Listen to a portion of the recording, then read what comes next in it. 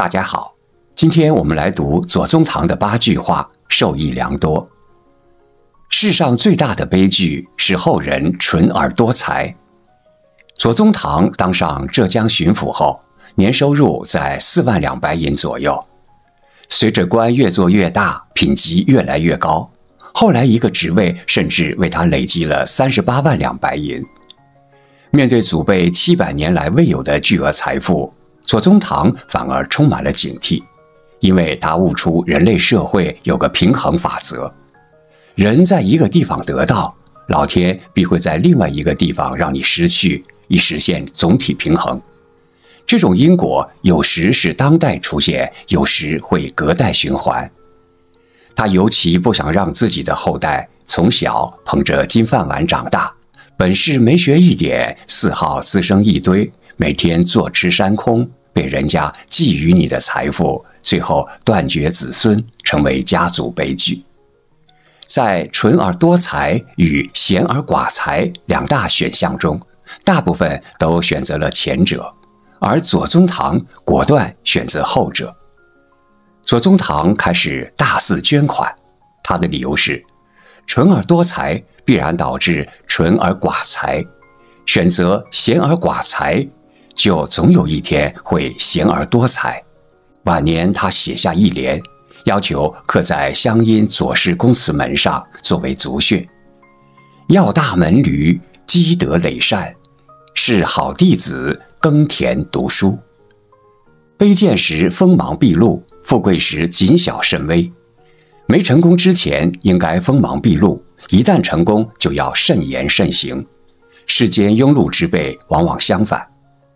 低贱时卑躬屈膝，摇尾乞怜；一旦获取权势，便嚣张跋扈，恣意妄为。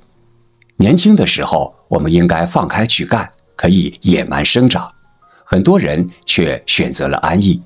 成功的时候，我们应该如履薄冰；很多人却选择了胆大妄为。所以，世界上的人绝大部分都是自卑的奋斗者和狂妄的得势小人。懂得笑着低下头的都是聪明人。有人问左宗棠：“天地之间的距离是多少？”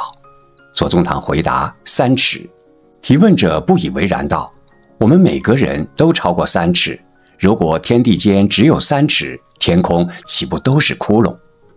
左宗棠回答说：“所以呀，我们学会了低头，学会低头，百事可为。水低成海，人低成王。”鹰立如睡，虎行似病，贵而不显，华而不炫，韬光养晦，深藏不露。才高不自诩，位高不自傲，地不畏其低，方能聚水成渊；人不畏其低，故能服众为王。人生于世，以低求高是大道。发上等愿，结中等缘，享下等福，则高处立。就平处坐，向宽处行，这是左宗棠的一副对联。发上等愿，结中等缘，享下等福，说的是人要胸怀远大，只求中等缘分，过普通人的生活。择高处立，就平处坐，向宽处行，是说看问题要高瞻远瞩，做人应低调处事，做事要留有余地。这两句话十分具有指导意义，请大家仔细掂量。能受天磨真铁汉，不遭人忌是庸才。经受得了多大磨难，你才配得上多大的成功。苦难和挫折是人生的一笔财富，也是人生的必修课。在困难面前不要退缩，要有越挫越勇的精神，同时要坚持自己立场，有一颗强大的内心。不同的人站在不同的立场，会有不同的看法。无论你做什么，都不可能做到让所有人满意。面对闲言碎语和批评，只要你没做错，就可以大胆去做。穷困潦倒之时不被人欺，飞黄腾达之日不被人忌。做人比做事重要。人生在世，总有低谷和高峰时期。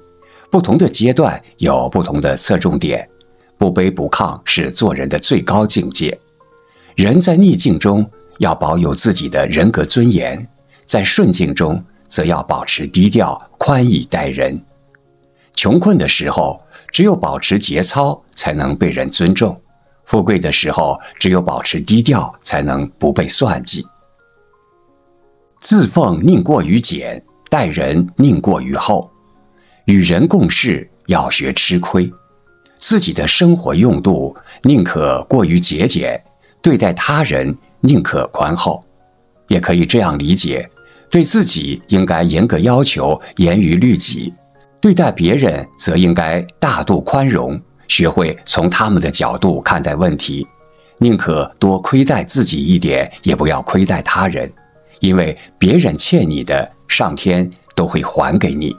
做人的可贵之处就在于愿意吃亏，你先吃点亏，往后就会有福报。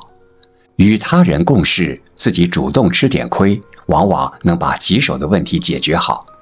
如果两个人针尖对麦芒，谁都不肯吃亏，合作自然也就无法展开了。吃亏是一种隐性投资，在交往共事中，事事都要占便宜的人，早晚成为孤家寡人。适时吃点亏，才能换回更多的回报。慎交友，勤耕读，笃根本，去浮华。人生就是一场修炼。我们做人要谨慎社交，做事要踏实肯干，要坚持自己的价值，坚信自己的初衷，不要投机取巧，不要浮躁。只有这样，才能历练出真正的品格和修养。这也恰恰是一个人立于不败之地的根本。好，刚才我们读了左宗棠的八句话，受益良多。来源网络，感谢收看。